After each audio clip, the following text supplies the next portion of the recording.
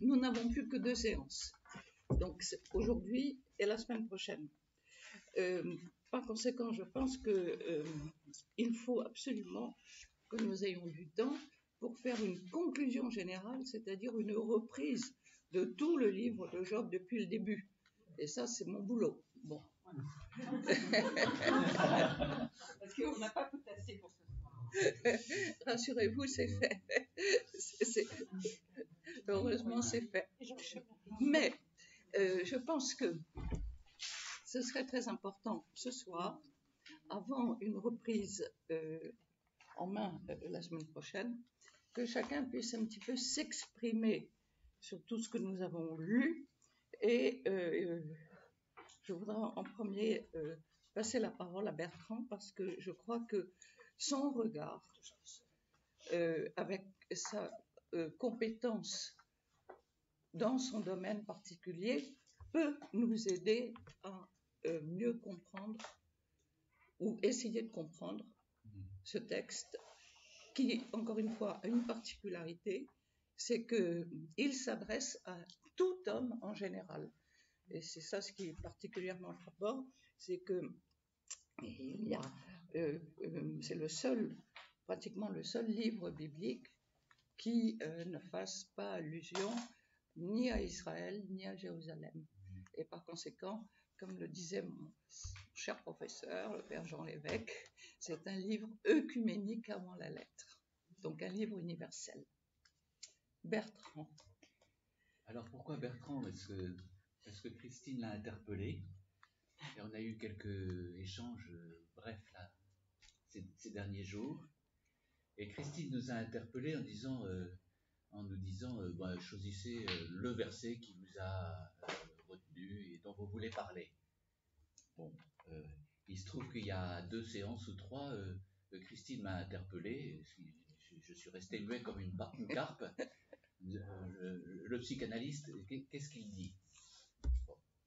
Et c'était à propos du verset, le verset. au chapitre 38. Au chapitre 38 le Seigneur s'adressa à Job du milieu de la tempête, dit, etc. Qui et alors, c'est quel verset? C'est le verset 2 du chapitre 38. 38. Donc, euh, euh, avec le, alors il y a le mot enténébré. Voilà, c'est ça, le verbe enténébré.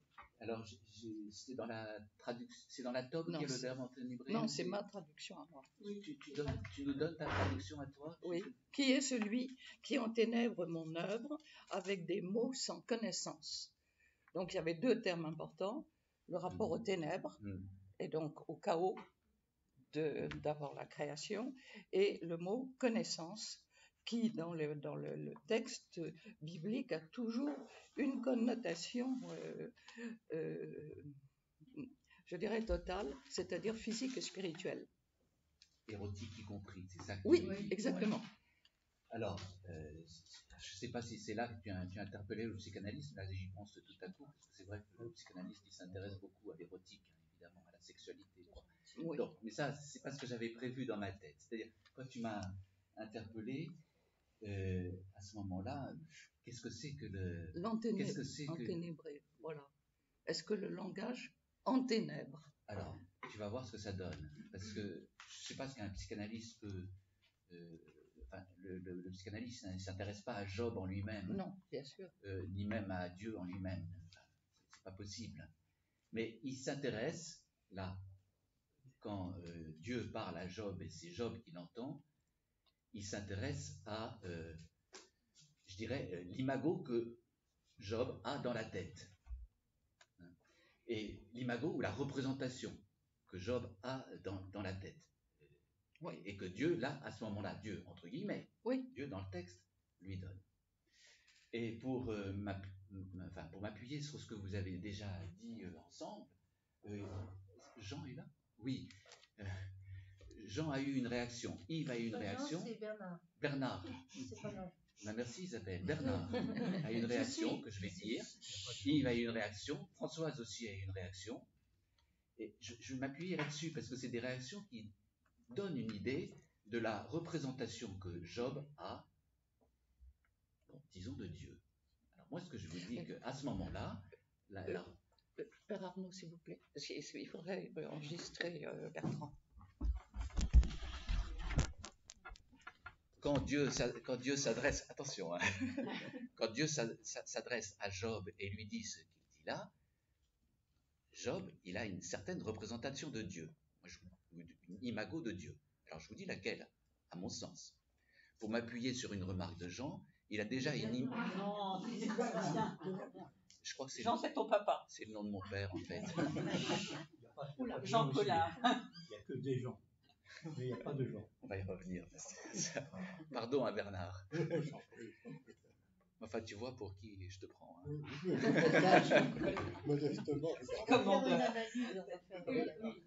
pour, pour le père. Non, mais la réalité. La... Attends, attends. alors, je, je vous le dis, j'ai besoin d'au moins un quart d'heure, hein, je vous le dis, et Christine me, me- me le donne. Euh, donc, la, remarque de Bernard, c'était ben oui, mais enfin, euh, très bien, mais je, je trouve pas ça très consolateur, ce que Dieu dit là à Job. Et, de fait, il y a chez Job à ce moment-là une représentation de Dieu qui est une, une imago euh, paternelle, si vous voulez, euh, assez impitoyable et peu consolatrice.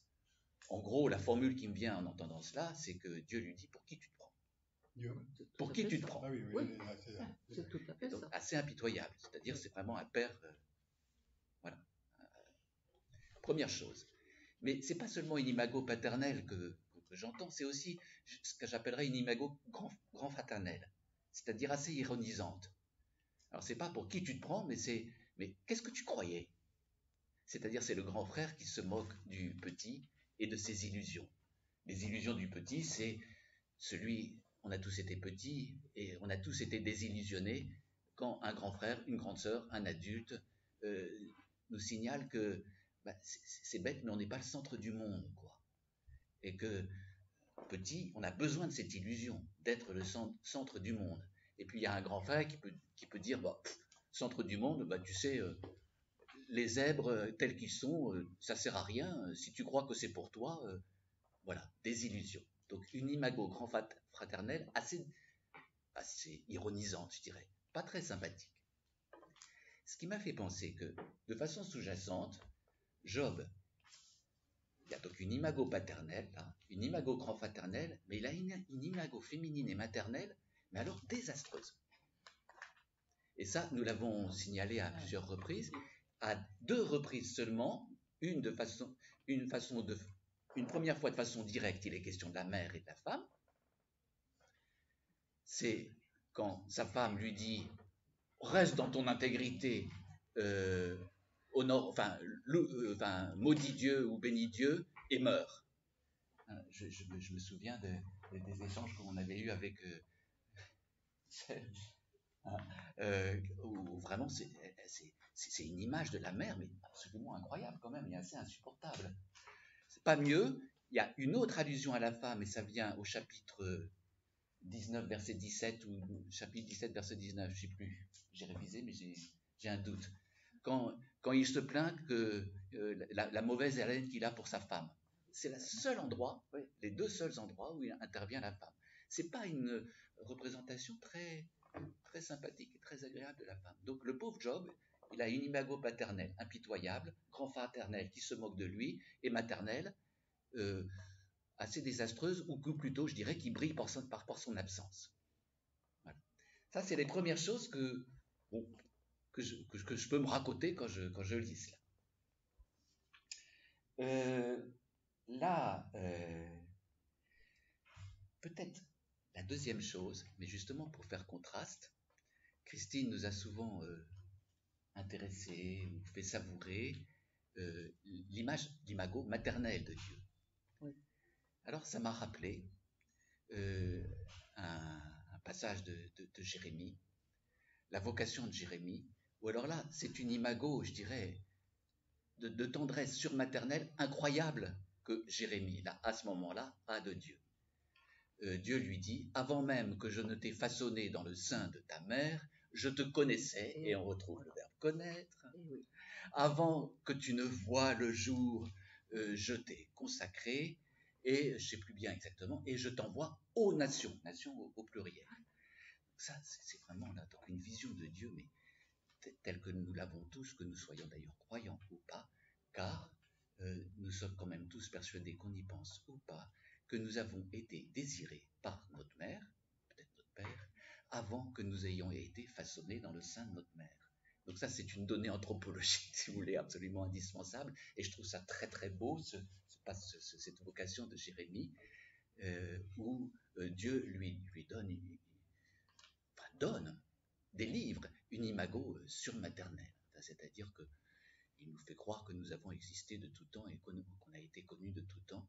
C'est bien ce que nous avons besoin de croire, hein, que nous existions avant d'exister, que nous soyons désirés avant même de pouvoir désirer soi-même.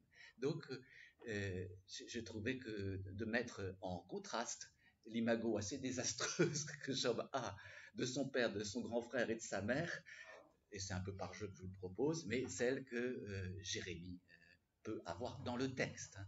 Et alors ça, c'est une chose à laquelle j'ai été aussi sensible tout au long de l'année, c'est-à-dire que assez souvent, tu nous as rappelé, nous avons dû être rappelés que c'est un roman que nous lisons. Oui, absolument. voilà, c'est un roman. Euh, c'est-à-dire euh, Dieu parle, oui, mais Dieu parle, et y compris à travers les imagos que le narrateur ou que le héros peut, peut en avoir. Il n'y a pas le contexte, justement, pour renforcer ce que tu dis, il n'y a pas du tout le contexte historique que l'on verra dans le livre de Jérémie. Oui, complètement différemment. Voilà. Verra si on lit Jérémie. Et oui, ah bah oui, ça c'est un autre problème. Peut-être que j'anticipe. Mais ça serait une bonne idée, ça fait le, ça fait le lien. Ça fait le lien. Alors, il m'est venu, ça c'est la troisième chose que je vais vous raconter, il m'est venu à l'esprit euh, un texte poétique d'un poète contemporain qui est Yves Bonnefoy, qui est un contemporain. Il est mort en 2016, mais il est né en 1923. C'est un poète contemporain. Euh, Françoise et moi, nous l'avons connu. On l'a rencontré d'ailleurs plusieurs fois. C'était vraiment un, proche et j'étais de nombreuses années un, fan de, Yves Bonnefoy et de sa, poésie. Yves Bonnefoy, c'est un poète contemporain, c'est un savant, c'est un historien. Il a été professeur au Collège de France euh, de nombreuses années à la suite de Paul Valéry. C'est pour vous donner quelques éléments comme ça d'histoire et de contexte. Hein. Un homme extrêmement bon. Il avait, il écrivait des poèmes et il écrivait aussi ce qu'il appelait des récits en rêve. Et il a écrit un récit qui s'appelle Le Dieu dans, Hamlet. Le Dieu dans, dans Hamlet. Hamlet. Et c'est une sorte de rêverie dans laquelle le narrateur, l'auteur, le narrateur, se trouve assisté à une répétition de la pièce de Shakespeare, Hamlet. Et alors, il se passe que des catastrophes ou des mini-catastrophes dans cette répétition de, de, Hamlet.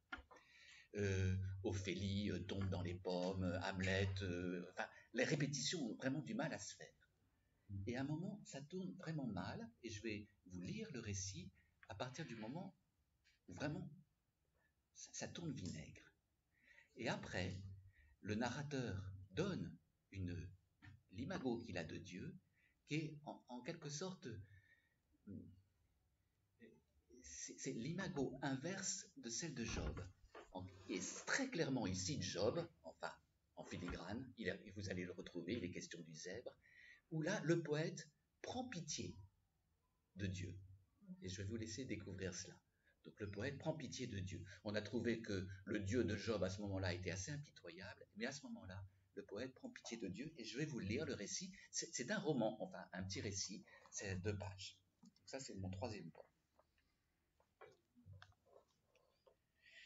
Et bientôt ce fut l'épouvante, puisqu'un matin, nous cherchions à reprendre notre travail. Le metteur en scène nous avait tous réunis. Il faisait beau, très beau nous nous parlions à voix basse. Où est Hamlet? s'étonna un de nous. Et presque aussitôt, nous entendîmes un cri, un cri encore. Mais le plus effrayant de tous, nous nous levâmes d'un bond. À cent pas de nous, une flamme montait du sol tout droit vers le ciel, très rouge, avec du noir dedans, qui presque aussitôt disparut. Me croirez-vous Nous courûmes et dans l'herbe intacte. Il nous fallut reconnaître. Quel malheur le corps plus qu'à demi calciné de cet acteur qui avait eu à tenir le rôle du prince supposé fou. Sa tête était intacte sous son bras droit replié très fort, car il avait dû tenter de se protéger. De quoi Nous étions incapables de le comprendre. La foudre? Mais non, le ciel était bleu depuis le lever du jour, intensément bleu et calme. Le metteur en scène ferma les yeux de son comédien, puis nous emportâmes le corps vers un de nos fourgons, abandonnant ce lieu d'herbe et de grandes pierres où nous avions tenté d'interpréter la tragédie de Shakespeare. Et aujourd'hui, après tant d'années, je cherche toujours la cause, ou au moins le sens de ces événements qui mirent fin à nos rêves d'une mise en scène d'Hamlet. Ces cris, ces pleurs, cette musique, ces flammes, n'avaient-ce été qu'une longue suite de hasards J'ai sans cesse voulu le croire, mais je n'y suis pas parvenu. Et, vieillissant, je me résigne à laisser grandir en moi une explication qui, hélas, répond à toutes les questions que nous nous sommes posées. Il y aurait, quelque part hors du monde, de notre monde, un Dieu insatisfait de sa création. Il l'avait entreprise avec confiance, avec aussi une idée de ce qu'on peut croire la beauté. La preuve en sont aujourd'hui encore ces montagnes, ces montagnes d'ici, ces fleuves dans leur lumière. Mais vite il s'aperçut que les êtres auxquels il donnait forme ne répondaient pas à son vœu, ce qui n'est certes que naturel, puisque ce qu'on nomme une création, à quelque niveau que ce soit, ce n'est jamais que de c'est-à-dire une place laissée, et peut-être la principale, aux pensées inconscientes de celui ou de celle qui écrit. Ce Dieu dut s'avouer qu'il avait en soi toute une part inconnue et inconnaissable, un inconscient.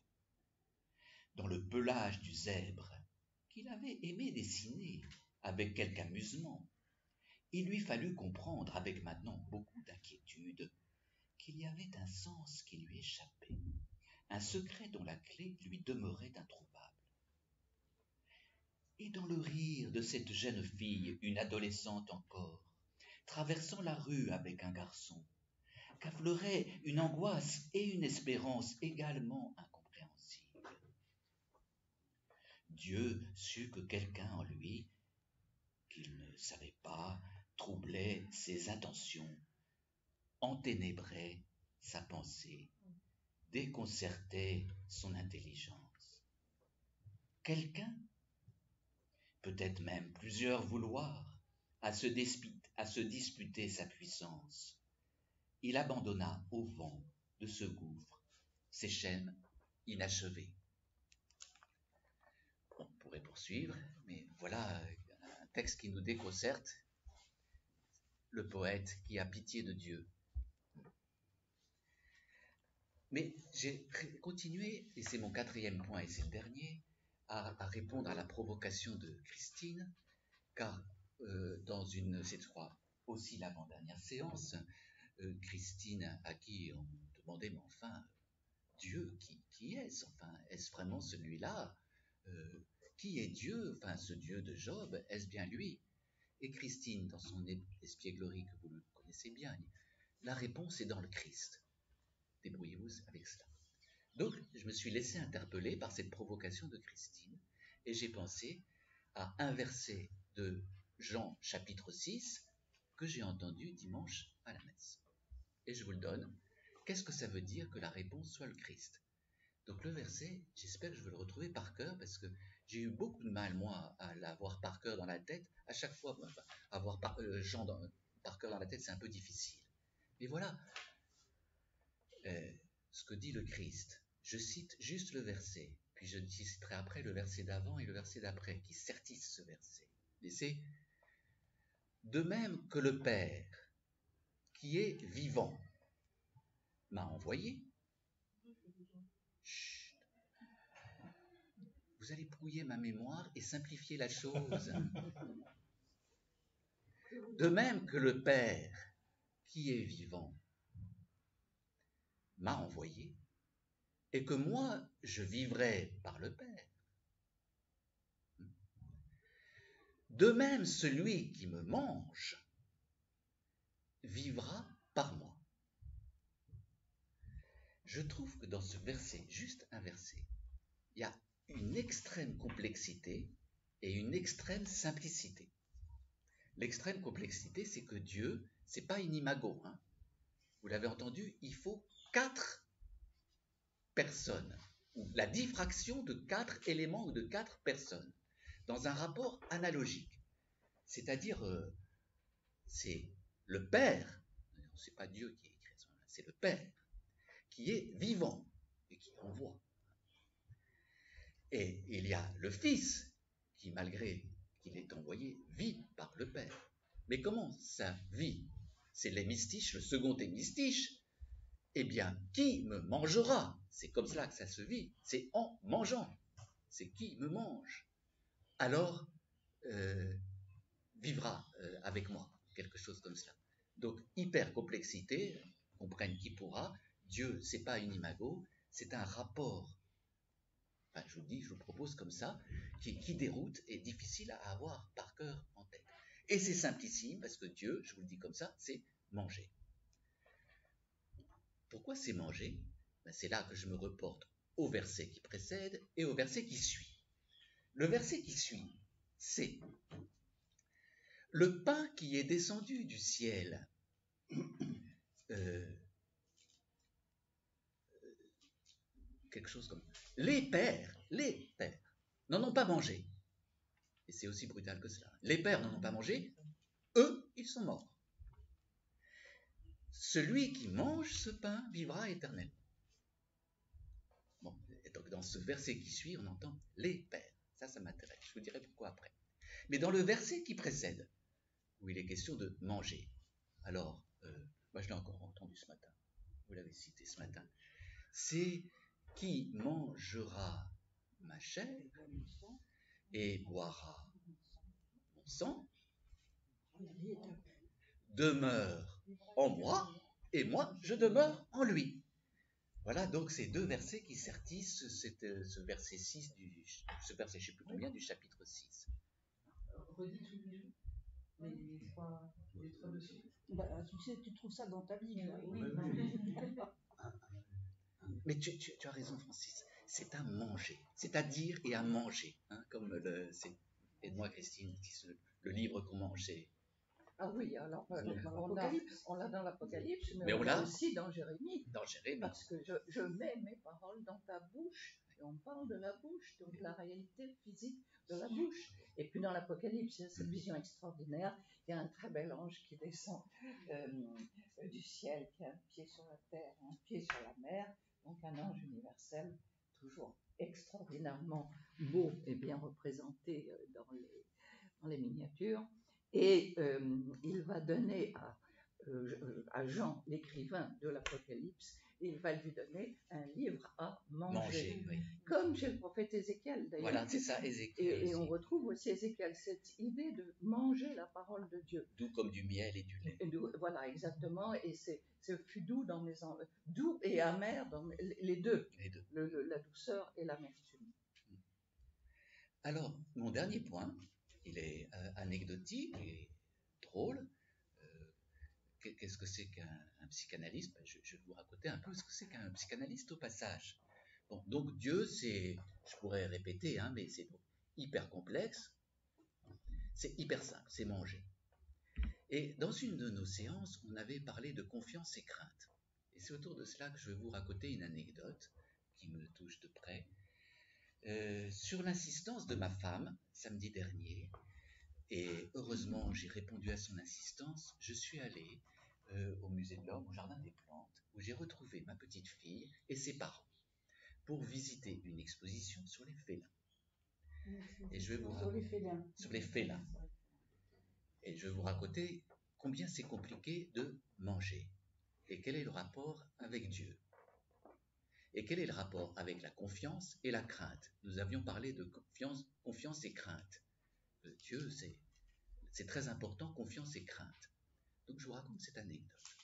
Donc la petite Calypso, à peine deux ans, euh, qui aime bien se précipiter dans mes bras, c'est souvent, c'est un délice. Et surtout quand elle veut voir quelque chose, là, c'est exposition sur les félins. Elle était fascinée par des petits films qui étaient passés. Et l'un d'eux euh, m'a fait assister à ce que c'était que une phobie de l'enfant. Une phobie de l'enfant, c'est absolument indispensable. Les enfants qui ne connaissent pas les phobies, on est inquiet quand on est spécialiste pédopsychiatre, par exemple. C'est très important dans le développement de l'enfant qu'ils connaissent des phobies. Les enfants qui ne connaissent pas de phobie, on s'inquiète un peu. Donc là, elle me donnait à vivre en direct, en vivant, une, une grande confiance et une phobie en même temps. L'image, une des images, euh, celle-là, une antilope qui est délogée par un lionceau, deux lionceaux, trois lionceaux, quatre lionceaux. Elle est fascinée. Le lionceau se précipite sur l'antilope. L'antilope arrive à se débarrasser du lionceau. Elle est toute excitée. Euh, un deuxième lionceau arrive. Et à un moment, il y a un lionceau qui mord l'antilope dans le flanc. Ça tourne mal. Et Calypso pleure. Et elle veut plus rien voir. Elle devient phobique. Et voilà ce que je voulais vous raconter. Euh, euh, nous, ces êtres humains très bizarres que nous sommes, nous n'avons pas à nous précipiter pour manger et mordre dans le flanc de l'antilope. Nous avons mordu le sein de notre mère, mais nous l'avons oublié. Nous sommes des êtres très particuliers. C'est pourquoi je voulais vous, raconter, à propos de poursuivre la provocation de, Christine, pour moi, Dieu, c'est manger, et c'est pas n'importe quelle affaire, même si euh, le Père Arnaud, ce matin, c'était une joie, euh, m'a donné à manger d'une manière absolument sublime, parce que j'étais allé à la messe ce matin. Mais j'ai pensé à, Calypso et à ce que c'est que, ce que c'est manger.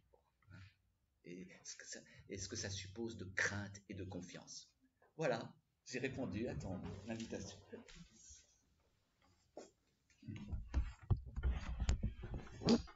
Je crois que ça va nous faire beaucoup réfléchir. Donc c'était vraiment euh, une, euh, nous amener à, effectivement euh, relire le, le, chapitre 6 de Saint Jean D'ailleurs, ce terme manger, justement, est tellement choquant que c'est à la suite de cela que les gens disent comment peut-il nous donner sa chair à manger? Donc, euh, une espèce de, cannibalisme en disant, ben, enfin, ils prennent le terme manger justement à ce premier degré, et à ce moment-là, il y en a beaucoup qui s'en vont, et alors euh, euh, il y a Pierre à ce moment-là qui dit, mais à qui irions-nous, Seigneur? Et, par conséquent, euh, ce, problème-là de manger, comme le, problème d'ailleurs dans le chapitre 1 de la Genèse, euh, qui euh, entraîne la rupture. Absolument. Au moment du manger. Au moment du manger, effectivement. Le fruit savoureux. Oui, moi je voudrais revenir dans ce que, tu as dit dans les images. une chose qui me paraît, qui m'a euh, là encore, euh, nous avions eu un séminaire à la, à sur le, vocabulaire euh, maternel de Dieu. Et ça avait été très très bien mis en valeur par Père Jacques Brien, qui montrait, et c'était euh, très important dans des textes du Deutéronome où euh, nous avons euh, des textes qui ont été traduits, donc la traduction a complètement effacé le côté charnel du texte hébreu, où Dieu, Moïse se retourne vers, Dieu et il lui dit, c'est toi qui as conçu ce peuple en tant qu'enfant qu'il a véritablement conçu et qu'il a mis au monde. Et le terme qui est employé pour mettre au monde, c'est véritablement le terme accoucher, c'est le terme euh, avoir des contractions. En fait, le verbe qui désigne cela, c'est euh, un, verbe qui, qui, désigne la danse du ventre et qui désigne la danse des, enfin la danse, les mouvements des contractions au moment de l'accouchement. Et on a euh, un autre texte qui est extraordinaire. Euh, tu m'as fait jaillir du sein de ma mère. euh, est le verbe jaillir, qui, on traduit ainsi, mais qui fait allusion justement à la perte des eaux. Donc c'est très intéressant parce que nous voyons aussi la féminité de Dieu dans un corps de femme. Et je pense que ces images-là ne s- sont extraordinaires pour enrichir cette euh, vision où Dieu n'est pas un concept euh, abstrait. euh, euh, voilà. Et, et c'est ça la grande force de, de la langue hébraïque, c'est justement euh, ce mélange permanent entre le physique, la réalité physique et le spirituel. Alors d'ailleurs, dans un tout autre registre, mais juste, je ne vais pas monopoliser la parole, mais dans tout autre registre, mais c'est très intéressant aussi, pas exégétique mais historique, il y a un- tout un travail de Thomas Römer, historien Oui, au oui, Collège, oui. euh, Oui. Collège de France actuellement, et, et qui a, il a même écrit un bouquin là-dessus, c'est-à-dire que dans toutes les traces historiques de la Bible, enfin, où on peut voir comment euh, enfin, Dieu était homme et femme, hein, et que tout ce qui euh, est Dieu, femme, s'est trouvé par le, les- les- les- le l'histoire, les effacements de Oui. effacés. Oui, Euh, Oui, oui, alors c'est très intéressant que tu nous dises, bah oui, mais on n'a pas réussi à tout effacer, parce que ça passe, ça reste dans des mots très concrets que tu, nous- que Voilà. tu, que tu nous donnes. hein, Dans le tableau de Rembrandt, il y a une main de femme et une main oui, tout à fait. Il y a, il y a la- dans le, le- oui, oui, dans le, le retour de l'enfant prodigue, c'est au musée de l'Ermitage à Saint-Pétersbourg, c'est très très net d'avoir les deux mains, une main féminine et une main masculine. Je savais pas comment on pouvait différencier une main d'un Ah, si, Euh, ah, si, bien sûr, euh, euh, en, en peinture, Bien sûr. bien sûr, bien sûr. Alors peut-être que ce serait intéressant justement euh, que chacun dise un petit peu les versets euh, et donc que la parole soit à chacun à tour de rôle pour dire quels sont les versets, euh, le, le- le- le verset qui, dont vous vous souviendrez euh, à propos du livre de Job. Alors euh, Geneviève, vous commencez Mais moi, je ne suis pas allée jusqu'au bout. Je voulais relire tout le livre de, de Job.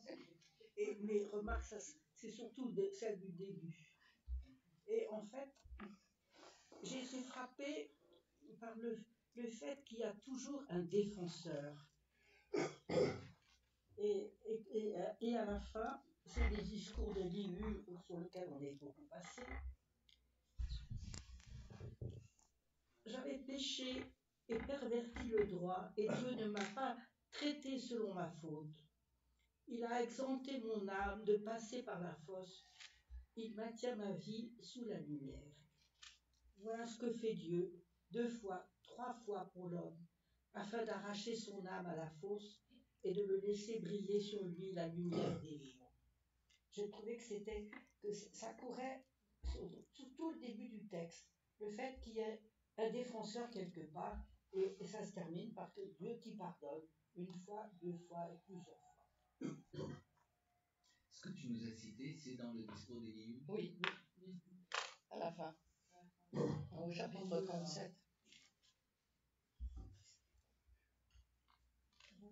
Moi, j'étais très, très intéressée, enfin, même très admirative de la foi de Job. Euh, notamment, euh, chapitre 19, oui, c'est ça. Euh, je, je vois pas bien. Je sais bien, moi, que mon Rédempteur est vivant. Et oui, parce que ses amis lui disaient euh, vous, euh, tu as péché ou tu n'as pas fait ce qu'il fallait, il faut te repentir, etc. Et c'est pour ça que tu as ces ennuis-là. Euh, mais Job reste confiant dans Dieu, euh, il reste tout à fait fidèle et puis je oh, excusez-moi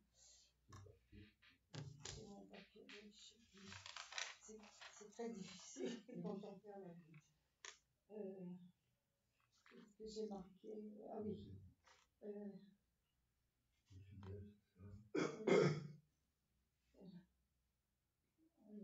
bon, en fait, ce que je voulais dire, c'est que cette foi que Job a en Dieu euh, me, me rend admirative, en fait. Parce que, bon, nous-mêmes, euh, on a des, on a des ennuis, on n'a pas d'ennuis, mais en fait, euh, la foi, on ne l'a pas toujours.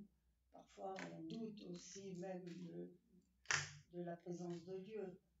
Donc, euh, je suis sensible, si vous voulez, à ce que Job était aussi fidèle à Dieu. J'aurais aimé quand même lire la fin, parce que, tiens, c'est ça.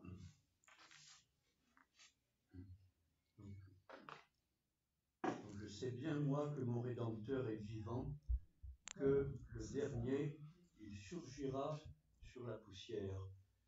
Et après qu'on aura détruit cette peau qui est mienne, c'est bien dans ma chair que je contemplerai Dieu. C'est moi qui le contemplerai, oui, moi. Mes yeux le verront, lui, et il ne sera pas étranger. Mon cœur en brûle au fond de moi. Que j'aimerais, c'est, c'est dire exactement ce que dit Job. Ouais. Et le croire. Ouais. C'est pas facile. C'est le chapitre 19 Oui, Oui, c'est le chapitre 19. Le chapitre 19, hein. Verset 25 et suivant. C'est ça, oui. 22, et la suite. Alors, Geneviève a commencé, elle n'a pas eu le temps de finir, elle a commencé par le début seulement, elle a simplement vu le début. Alors, moi, j'ai vu que la fin. C'est pas vrai d'ailleurs, j'ai tout revu, puis je me suis. Le verset qui m'a frappé, le voici. C'est au chapitre 42, verset 5. Je ne te connaissais que par lui dire, mais maintenant mes yeux t'ont vu. Alors, vu, qu'est-ce qu'a vu Job? Alors, d'après ce qui précède, on comprend que Job s'incline devant la manifestation de Dieu dans la nature, dans la création. Voilà. Mais on peut aller plus loin parce que ça fait écho, à mon sens, à une phrase du Nouveau Testament, à la présentation de Jésus au temple. Siméon, le vieillard Siméon, mes yeux ont vu ton salut que tu as préparé à la face des peuples. Alors là, on a l'image d'un Dieu qui n'est plus seulement le Dieu Tout-Puissant, mais le Dieu qui apporte le salut par Jésus.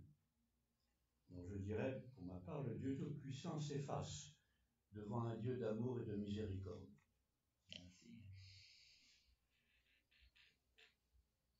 C'est pour ça que.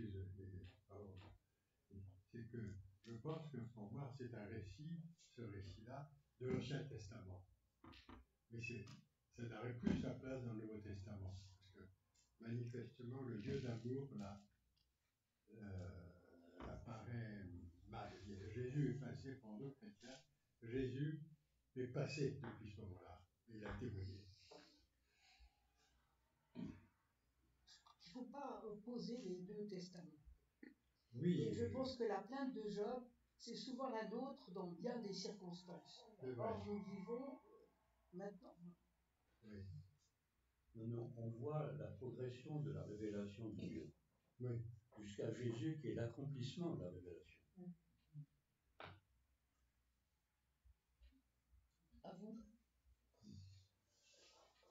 En ce qui me concerne, c'est pas un verset, mais répondrai sur la forme avant le fond. Un peu comme le livre des Proverbes, le livre de Job est à la recherche de la sagesse. Le, livre des Proverbes procède par affirmations successives, tandis que Job apparaît, procède par un, un apparent dialogue question-réponse qui en réalité n'est qu'une succession de monologues.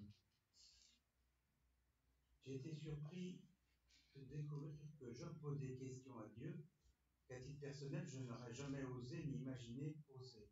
Mais ces questions élargissent mon dialogue avec Dieu et pour moi améliorent l'étendue de mon examen de conscience.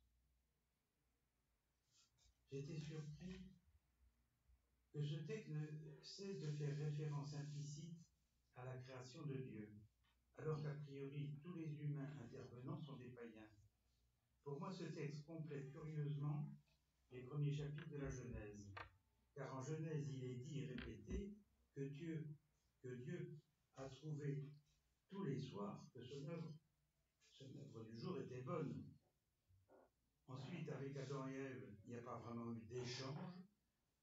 Peut-être il y a eu un brin d'échange avec euh, Cain, mais c'est pour moi maintenant avec Job, qualifié de chouchou de Dieu, euh, que Job interpelle avec impertinence Dieu en lui demandant si, réflexion faite, son œuvre est si parfaite, eu égard aux contraintes que les humains doivent gérer ou surmonter. Ainsi, insensiblement, on reprend, à mon avis, la lecture de la création en la complétant avec des questions pratiques. C'était un peu pour moi un peu les travaux pratiques des, premières euh, lignes de la Genèse. D'autant qu'on procède au cas par cas.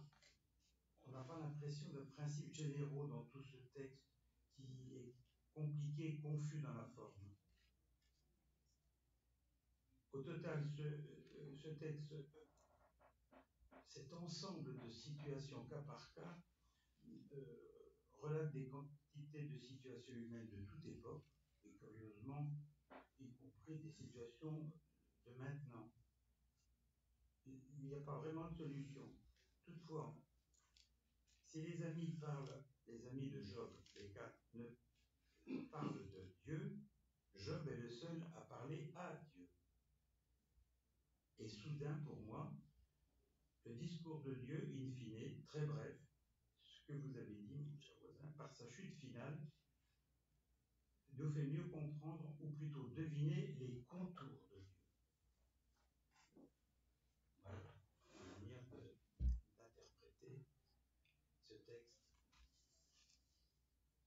Très bien. Merci. Emmanuel Moi, je prendrais les mêmes versets que euh, le verset 19 parce que il me ramène à, une amie qui est décédée récemment et qui était euh, habitée par ces paroles, en tout cas cette espérance. Je sais, moi, que mon défenseur est vivant de lui le dernier se lèvera sur la poussière. Son espérance était de voir Dieu. Et quand je dis ça, je pense à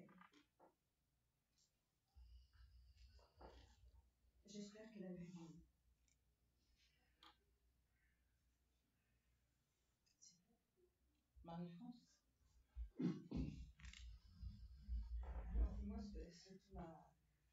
Beaucoup de choses m'ont frappé, enfin intéressé dans, cette histoire de Job. C'est un homme qui, est parfaitement honnête, qui est transparent devant, devant ses amis comme devant Dieu. Et euh, Euh,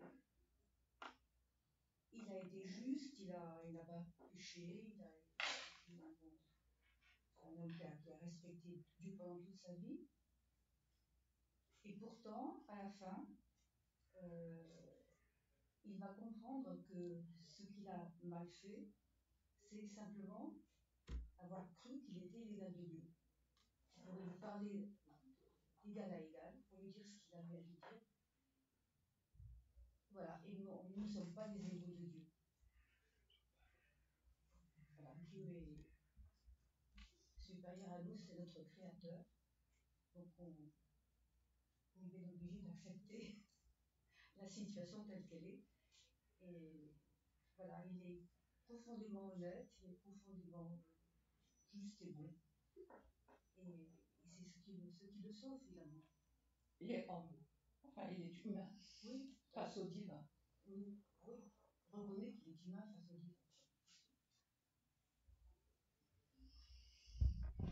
Euh, alors moi, je, je je ne sais pas, il y a, bon, c'est vraiment, euh, effectivement, maintenant, euh, mes yeux tendus, je trouve que c'est une phrase extraordinaire. On aimerait la voir euh, à une fois toute la journée. Mais euh, je dirais que par rapport au livre de Job, moi je suis euh, très embêtée que la, que, qu'il soit fini en fait, parce que la fin m'a pas du tout plu. Euh, la fin, je l'ai, je l'ai pas du tout, euh, comment dirais-je, euh, je l'ai pas du tout intégrée dans un cheminement. Je l'ai trouvé. Quand tu parles de la fin, euh, de l'épilogue, euh, l'épilogue, je l'ai trouvé. euh, Ouais. C'est ça. Voilà, ça, tout à fait. Comme une pirouette, Oui, oui. euh, comme quelque chose. Et je trouve que finalement, on reste avec notre question euh, du mal. Euh, la question du mal, la question de la souffrance, la question de cette révolte contre la souffrance, même cette acceptation, même si on a des, des- des- une description très belle de, de, de, de- de- de la, création, de, de- de- euh, je trouve qu'à la fin, on, on se, on, se- on se heurte encore à, à quelque chose qui est incommensurable, qui, qui est la, souffrance. Et, moi, je suis très ennuyée que le livre finisse là, parce que, euh, à part ce qu'on retrouve dans le psaume 22, euh, quoi, je ne me souviens plus dans quel chapitre c'est, c'était j'avais noté, euh, il y avait deux versets où on trouvait, on trouvait vraiment du psaume euh, 22, qu'on lit pendant la Passion. Euh, je, suis, euh, en fait, je me trouve face à un mur et j'ai envie que ça continue, quoi. Et donc, alors effectivement, as fait une... toi aussi, tu as fait une pirouette parce que tu nous as dit, bah maintenant, la réponse, c'est Jésus, c'est le Christ, c'est la Passion. Euh, mais, mais voilà, c'est pour dire un peu que j'ai du mal Alors, j'ai eu du mal tout au long de l'année à comprendre la construction de. Euh, et j'avais l'impression d'arriver à comprendre un petit peu un cheminement, et puis bah, là, euh, bah, terminé sur un espèce de truc que j'ai j'ai pas, vu venir, pas compris non plus. Euh, voilà, j'ai- c'est.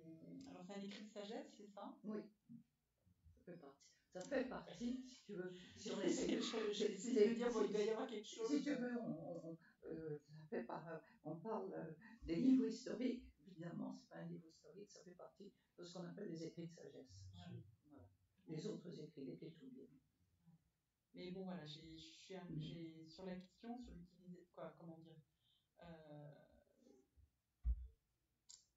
voilà, bon, alors effectivement, après, il y a le Nouveau Testament, il y a euh, la Passion du Christ, il y a. Voilà, mais le livre se termine sans, sans qu'on ait forcément euh, cette ouverture vers ça. C'est nous qui la faisons, cette, qui, qui, la, qui l'apportons, mais. Donc en fait, moi je, je trouve qu'à la fin du livre de Job, on se retrouve quand même, comme au début, sans réponse sur la question de la souffrance. Moi, j'aime bien la remarque de Françoise, euh, c'est-à-dire que, au fond, elle n'est pas comme Job, elle va pas se taire. Et- elle va continuer à parler, je trouve ça Euh, pour ma part, euh, c'est pas par la réaction, mais j'aime bien que Job se taise. Euh, non, il y a plein de choses, mais c'est vrai que le début de chapitre 38, où le Seigneur euh, s'adressait à Jacob du milieu de la tempête, et puis tous ces chapitres qui sont une tempête de, toute la magnificence de Dieu, et qui arrivent à, Job qui dit Je suis peu de choses, euh, que pourrais-je répliquer? C'est vrai que moi j'aime beaucoup. Alors, d'une part parce que depuis euh, tout petit enfant, j'aime les tempêtes, les orages, et j'aime ce sentiment où on, on touche quelque chose de l'univers qui nous dépasse. Et de. À la fois, enfin, c'est pas le fait de se sentir petit ou écrasé, c'est de sentir que l'univers est grand et que et qu'il y aura des grandes choses à découvrir et, qu'on n'aura jamais fini de découvrir. Et, et comme prêtre, euh, bah, je pense que je me retrouve euh, souvent, malgré moi, à être face à des jobs qui interrogent Dieu et qui, du coup, vont voir le prêtre et pourquoi, et, et, et, et de, d'avoir de- des personnes qui, qui argumentent, qui, qui veulent comprendre et qui exigent et qui, qui demandent des comptes à Dieu. Et combien de fois j'aimerais euh, répondre euh, bah, comme Dieu le fait dans, les deux genres, mais euh, trouver la réponse qui, fait qu'on se dit, mais, mais de fait, mais qui suis-je pour oser demander des comptes à Dieu? Et, avant de,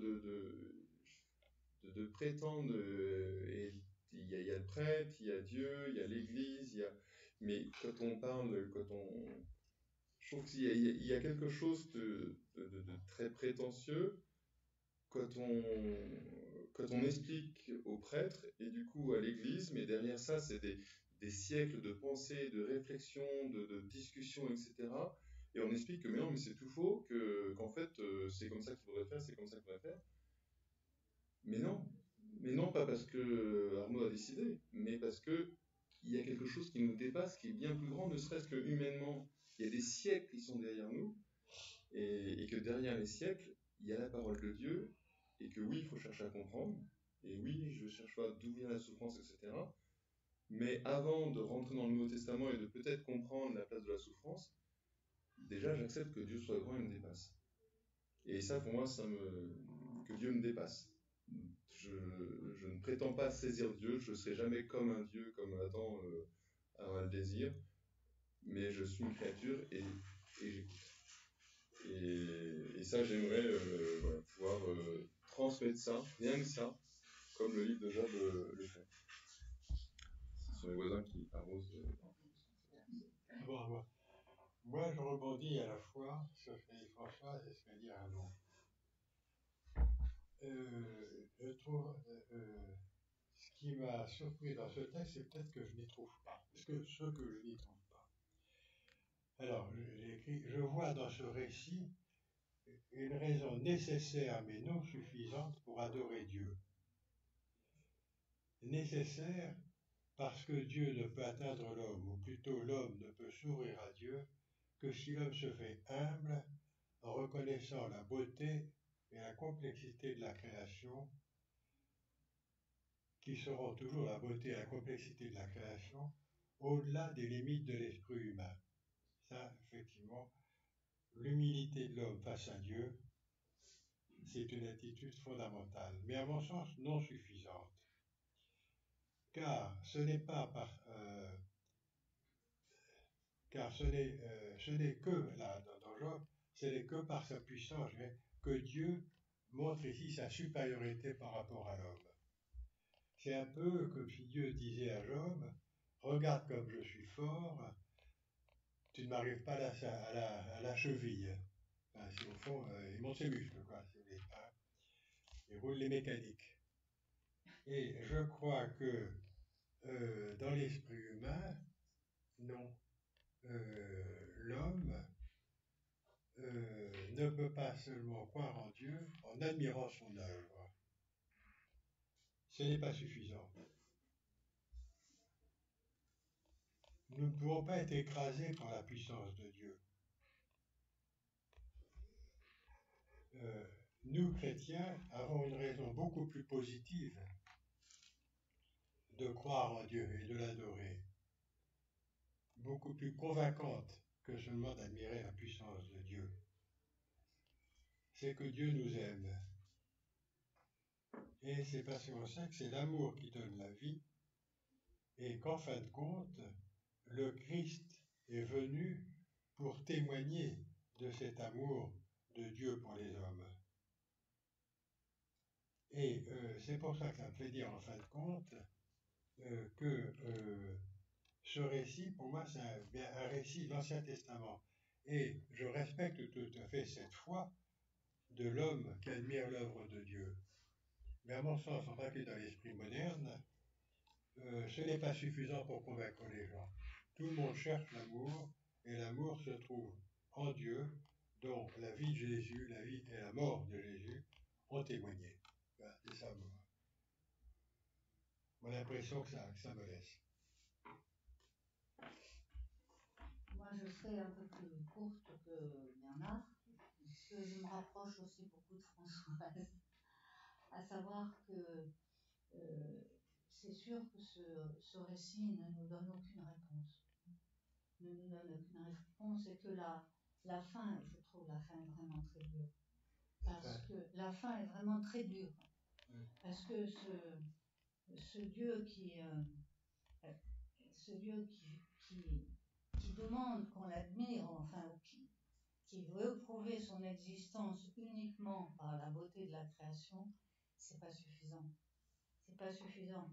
Et euh, alors moi j'ai été très très frappée par le chapitre, les chapitres 9 et 10, parce que je trouve que c'est dans ces chapitres où on sent très fort le désarroi de Job.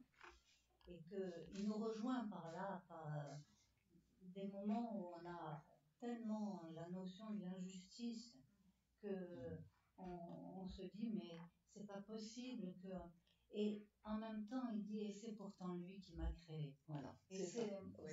cette ambivalence enfin c'est quelque chose qui nous traverse complètement parce que nous aussi on est révolté par, ce qu'on voit en ce moment par exemple n'importe quand du malheur innocent et en même temps on se dit mais il y a un Dieu qui m'a créé et un Dieu qui m'aime. Et je trouve que quand vous avez fait référence euh, au fait que Job euh, dit je ne suis pas, à, tout à fait la fin, je ne suis pas capable de parler, je ne suis pas capable de répondre, et ça correspond tout à fait aux tous ces récits de vocation. euh, Moïse, Isaïe, Jacob, ils disent chaque fois qu'on leur dit tu vas aller t'occuper de mon peuple, il dit mais moi j'en suis incapable. Et, là, c'est la même chose pour, euh, c'est la même chose. Mais, mais là, je, je, je dirais, il manque quelque chose. C'est que, en général, c'est je serai avec toi. C'est difficile pour toi, mais je serai avec toi. Et là, on l'entend pas. Non. Et on l'entendra dans la, la vocation de. Ouais. Ça m'a manqué. Francis. Moi, je trouve que c'est un texte rigolo qu'il faudra que je relise à l'occasion. Ah, bah, c'est bien. C'est euh, c'est un texte un peu millefeuille. Et euh, moi, la phrase qui m'a, en relisant un petit peu euh, certains extraits, la phrase qui m'a le plus interpellé, finalement, c'est une phrase au début que je n'avais pas remarquée la première fois. J'avais remarqué autre chose. Mais c'est euh, justement euh, le. On a cet ange qui, euh, qui revient de faire un tour sur la terre et euh, là on a Dieu qui dit Mais à propos, t'as pas remarqué Job Ah oui. Et on se demande pourquoi, pourquoi est-ce qu'il dit ça euh, Ça sort euh, comme un cheveu sur la soupe. Oui. Voilà. Et je trouve cette phrase très rigolote qui est à la fois un, un prétexte pour, euh, pour, euh, pour rentrer dans l'histoire et puis aussi euh, qui, euh, qui, qui a un petit côté professoral entre Satan et Dieu euh, Oui, tout à fait. et qui aura plus loin entre Job et Dieu. euh, ce, ce truc-là. Après, euh, pour aller plus loin, il y a, je me souviens qu'on a eu des, des- des descriptions assez longues sur euh, les biches, euh, sur les mines, sur, euh, sur plein de choses de la nature et de l'activité humaine. Voilà. Dominique. Alors, moi, j'ai été. Euh, je n'ai pas grand-chose à dire parce que les, versets que j'avais relevés ont tous été cités. Euh, j'avais relevé le chapitre, le chapitre 9 qui m'a beaucoup euh, interpellé aussi, en particulier versets 32-35, on en a parlé déjà. Chapitre 19, versets 25-27, euh, on en a parlé, on les a cités, et puis surtout le chapitre 28, euh, verset 18, et mieux vaudrait pécher la sagesse que les perles. J'aime beaucoup cette phrase. Et je trouve que ça résume bien mon idée de ce livre. Euh, je trouve que c'est trop humain. y compris Dieu. Euh, ils en ont fait quelque chose de très humain. Alors je bien le manger, je veux bien qu'il soit une mère, une père ou je sais pas quoi, mais pour moi, Dieu, c'est ce que disait le père Arnaud, c'est tellement supérieur à l'homme qu'on devrait qu'être une humble, qu'être. euh, bon, bien sûr qu'on l'interpelle en disant euh, pourquoi tu m'as fait ça, mais on sait bien dans le fond que c'est pas lui. Dieu partage notre souffrance en fait. Et en fait, je sais pas, je, je suis un peu restée sur ma faim aussi, moi. hein. je, je voudrais un autre.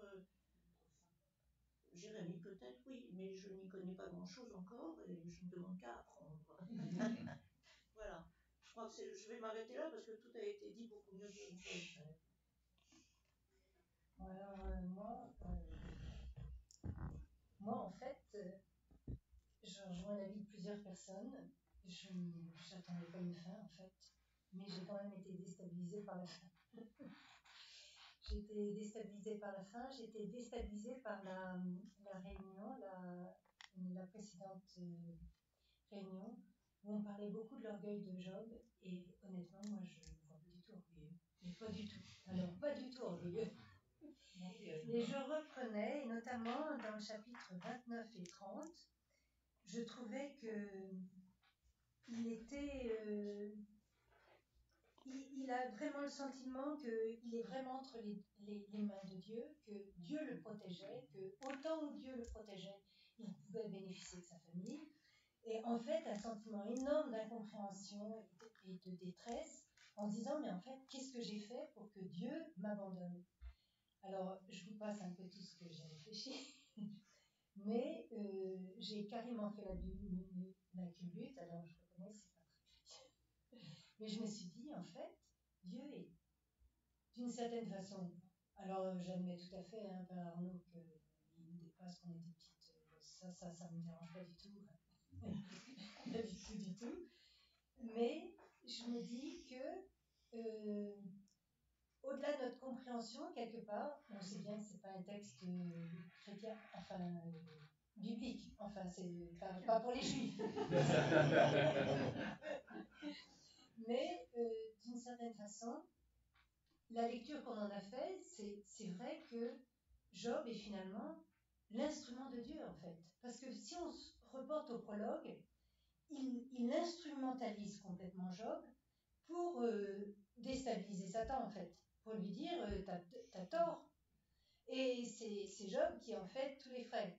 Et, et je me disais d'une certaine façon, ça renvoyait au Christ pour, pour d'autres choses, mais je me dis en fait, euh, le Christ a été l'envoyé de Dieu et Dieu chérissait son fils, ben, il l'a envoyé à la mort. Comme il l'a ressuscité, comme à la fin, le livre de Job, eh ben, il le restaure dans ses liens. Alors évidemment, la réaction du Christ n'est pas la même que celle de. Mais je me dis que finalement, ce Dieu qui nous dépasse, ce Dieu qui est sûrement amour puisqu'il restaure après, puisqu'il vous ressuscite, mais n'empêche qu'il ne peut pas empêcher le mal, n'empêche que ça me satisfait un peu, le Dieu insatisfait, euh, ça, ça rejoint et, et ça ne résout pas le problème du mal qui, qui est quand même une question posée là et, et où je rejoins complètement euh, Françoise aussi. Bon, enfin voilà. En peu de mots, euh, ce que j'ai pensé dans plusieurs. euh, Moi, je suis mauvaise élève, je parle le verset. Et euh, je dois dire que je suis contente d'entendre ce qui a été dit. Merci Christine pour nous euh, présenter une richesse dans ce texte que moi je ne pourrais pas voir, je n'aurais pas vu. Je vais sans doute oublier rapidement votre remarque comment ça a diminué. Et ça m'a fait du chaud au cœur de cette euh, voix représentée comme ça. Mais par ailleurs, euh, je reste moi sur ma fin sur Job. Job n'est pas ma tasse de thé, ce livre-là, euh, parce que c'est un face-à-face Dieu et l'homme. Alors que pour moi, ce que je cherche et ce qui est source d'action de grâce, c'est d'avoir appartenu à un peuple, et pas forcément celui des peuples chrétiens tout de suite, euh, et à une civilisation occidentale qui n'est pas celle de l'Afrique ou ailleurs. Mais c'est à travers tout cela que je, euh, que je prie Dieu, que je, l'accepte, que je lui dis euh, reste au fond de mon cœur comme tu me l'as promis. Et comme j'avance aussi en âge, c'est tout ce qui est dans ceux qui ont vu dans ma maison, tous les tableaux qu'on a. Pour moi, Dieu, c'est il, ne peut pas me quitter parce que j'ai eu tellement d'action de grâce au cours de la vie que voilà, c'est ça. Et je, parfois, je dis, je mourrais triste de, d'avoir fréquenté dans mon église des gens pour qui c'est trop un face à face à Dieu. Et c'est pas ce cœur, ce peuple qui avance avec toutes les grâces qu'il doit à son, à son frère, à tel autre, peut-être inconnu. Enfin, je pourrais continuer comme ça, mais voilà. C'est ça le. Moi, je, je crois que je reste comme, t'es comme Job, je peux rien dire, euh, tout, tout a été dit, très mauvaise élève, j'ai rien écrit, j'ai, j'ai beaucoup aimé les discours sur la nature, mais enfin, effectivement, j'avais l'impression d'être resté un petit peu en dehors de l'affaire. Euh, d'avoir écouté une belle histoire, euh, des beaux, belles controverses, mais est-ce que, ça m'a... Bon, non, je n'ai pas tout compris. En fait, on peut, je je termine, on peut demander s'il n'y aurait pas deux sortes de commentaires. Selon qu'on se réfère seulement à l'Ancien Testament, selon que on, on se dit que réellement ce texte a été les racines du Nouveau Testament, mais bizarrement, il me semble que dans le Nouveau Testament, Ce sont les mots, si vous voulez. Il n'y a pas de citation euh, dans le Nouveau Testament. euh, euh, Il n'y a pas de citation directe comme cela. Ce sont les mots qui sont très. Euh, qui renvoient à. Bon, on, ne peut pas expliquer euh, l'Ancien Testament sans le Nouveau et le Nouveau sans l'Ancien. Il y a une, une harmonie entre les, les deux testaments qui font qu'ils s'expliquent l'un par l'autre. Et ça, c'est la, la, grande, la grande leçon. Euh, pour ma part, il y a deux passages que j'ai- que j'aime beaucoup. Euh, c'est euh, le, chapitre 3, quand Job est très désespéré, et puis il dit Pourquoi est-ce que je vis? Et, et puis il dit à Dieu Mais dans le fond, tu me chercheras parce que tu m'as aimé, tu me chercheras et j'aurai cessé d'être. Et, et je trouve cette idée que Dieu va me chercher, ce qui correspond tout à fait dans l'Ancien Testament, dans le Nouveau Testament, euh, au, bon pasteur qui va chercher la brebis perdue. Il y a toujours cette idée de Dieu qui va chercher. Euh, et, puis il y a aussi cette autre image, alors c'est peut-être parce que j'aime bien faire la cuisine, mais j'ai été très frappée par l'allusion au fromage. Euh, tu m'as fait couler, tu m'as fait cailler, tu m'as fait prendre comme, comme du fromage qui, qui prend. Tu m'as donné un corps, euh, tu m'as créé des muscles, tu m'as créé des nerfs, tu m'as donné une intelligence, tu m'as donné. Et par conséquent, je trouve que euh, ces images-là sont, sont très, très parlantes. Ceci dit, euh, je trouve que c'est un, un- livre tout à fait, tout à fait extraordinaire, mais dans le fond, dont il faut lire vraiment euh, mot par mot et euh, pour en tirer, si vous voulez, une, substance spirituelle, ensuite se reporter au psaume. Mais euh, je ne veux pas anticiper sur la conclusion et je voudrais beaucoup, la semaine prochaine, que nous soyons assez attentifs pour véritablement reprendre, reprendre une vision euh, spirituelle et théologique de tout l'ensemble du livre. C'est ce que je vous propose pour la semaine prochaine. Je voudrais ajouter un petit mot. C'est euh, j'ai été un petit peu court dans ce que j'ai dit, mais je voudrais ajouter qu'il y a un mouvement de balancier en fait entre les, différents points du récit du livre de Job. Et, c'est- et- et on voit passer le récit euh, de situation en situation plus, copi- plus cocasses les unes que les autres. Il y a il Et Job n'a pas tout perdu à la fin si on se réfère au point de vue matériel, puisqu'il retrouve le double de ce qu'il avait au début. Bien, et on va terminer euh, en priant et peut-être, euh, parce que Dieu nous a donné une mère, prions notre mère. Je vous salue Marie, pleine de grâce, le Seigneur est avec vous. Vous êtes bénie entre toutes les femmes, et Jésus, le fruit de vos entrailles, est béni. Sainte Marie, Mère de Dieu, priez pour nous pauvres pécheurs, maintenant et à l'heure de notre mort.